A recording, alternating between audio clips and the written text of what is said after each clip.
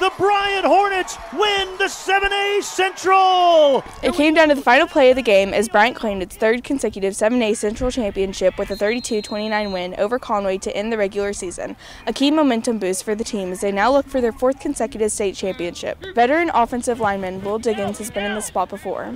We struggled a little bit in our last game, but we pulled it out, and I feel like this bye week is going to really help us come uh, come together as a team more and make a good state run. Sophomore Mytorian Singleton caught the game-winning touchdown and the ensuing two-point conversion to lead the Hornets past the Wampus Cats.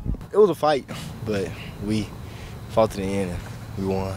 The team entered the year on a 30-game winning streak and three consecutive state titles, but this was a different team with 10 new players on defense and a new quarterback. The team faced adversity, losing to Longview in the third game of the year, ending their winning streak at 32. I'd say the biggest challenge we faced was Longview this year.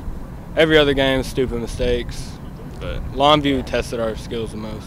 New additions to the 2021 team include a new starting quarterback as Carson Burnett took over for a highly decorated quarterback who won numerous Player of the Year awards. Well, I knew I had some big shoes to fill, but Coach Bach, we've been in the film room a lot lately, and so I've just been been with Coach Bach, and he's been teaching me everything he taught Austin Ledbetter. Much of Burnett's success this year is due to his offensive line who does their best to protect him on each play. The expectations for doing the job right stem from the top with head coach Buck James. He's a great coach, but he's he expects a lot. So moving up as a freshman, it was hard because we was just doing what we wanted to. You know, we came up here, put us through a lot. He definitely made me better and prepared me for a college career.